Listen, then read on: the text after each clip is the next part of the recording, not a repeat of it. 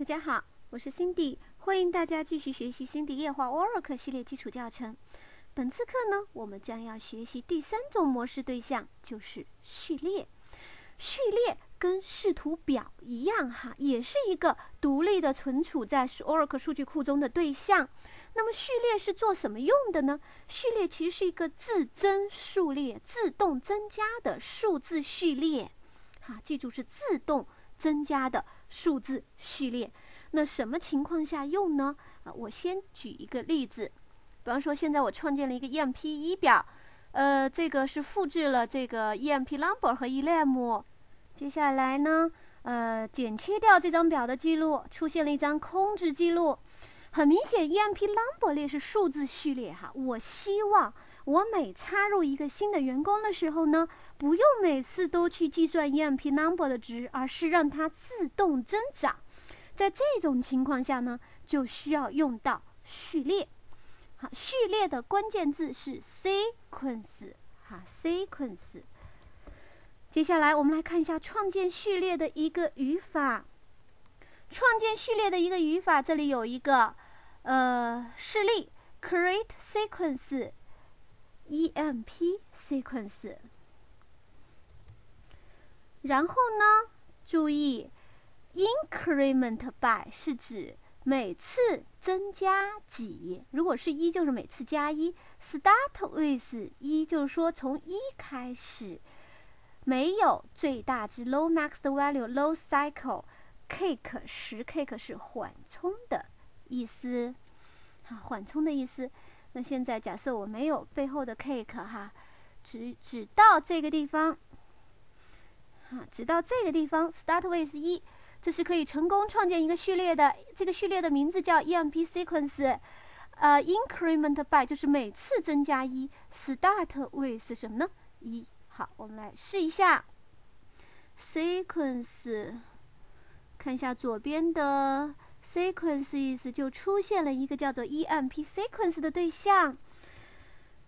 EMP sequence 哈，针对于 sequence，它是有两个尾列，一个叫做 next value，一个叫做 current value。我们用对象啊，这个序列号的名打点调用 current value from do 看一下哈。哎，这个时候。好，他会说，EMP sequence 哈没有被定义，是因为现在我还没有使用它。那如果这个时候我改成 next value 呢？哎，出来的结果就是一，再执行一次变成了二哈，再执行一次变成了三，这个就是序列。OK，接下来我们 insert into EMP 一。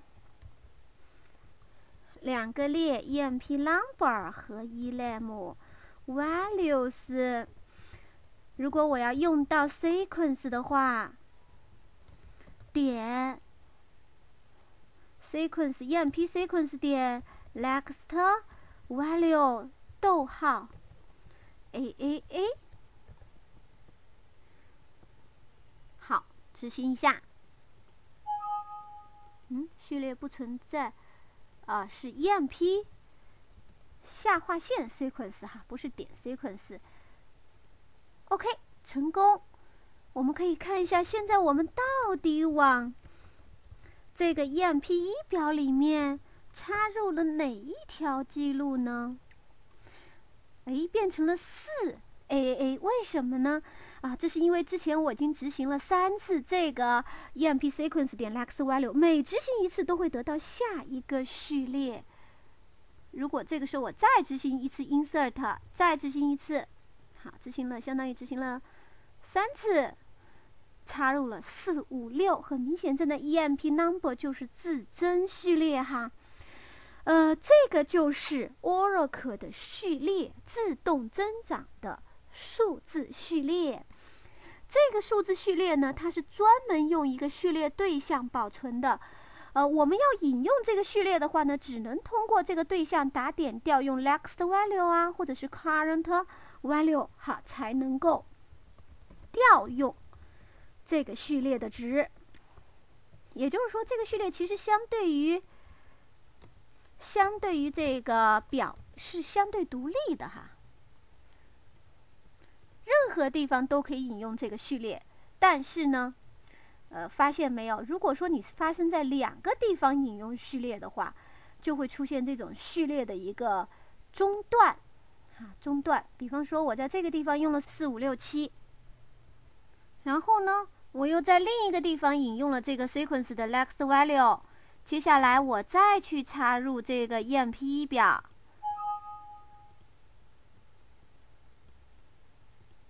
好，我再查再查询，你就会发现我的 EMP number 从四五六七啊，突然间断掉了。八九十全部都被其他的地方引用了，然后又我的序列呢变成了十一，哎，你会发现序列是一个只能往前走哈，没办法后退的这样一个数字序列。提醒一下大家，将来我们真的要用到序列的时候哈，最好一个序列只在一个地方被引用，免得像这个地方哈会出现序列的一个中断。接下来，好，我们回过头来再来看一下创建序列的语法。创建序列的语法，刚才我们只介绍了两前两个子句，一个是 increment by 一，除开 increment by 一之外，我也可以 increment by 十，就是每次自增十。start with 也可以不从一开始，可以从一千开始。那接下来第三个呢？no max value 就是不设最大值。要设最大值的话呢，可以改成 max value 多少多少。哈接下来再看 low cycle 是指不循环。如果我写了一个 cycle 就没有 low 两个字的话呢，那就代表，比方说最大值是一千，我到一千我又从头开始。cake 呢是指缓存，就一次我会读取到缓存中几个数字的序列。好，这个是缓存。注意一下，这个就是创建序列，好，以及序列的一个应用。我们基本上在什么地方用呢？比方说刚才我演示的 insert 语句的时候可以使用。好，update 的 set 语句也可以使用。好，insert 语句的子查询也可以使用。OK，关于序列的使用，我们就介绍完毕了。下次课再见。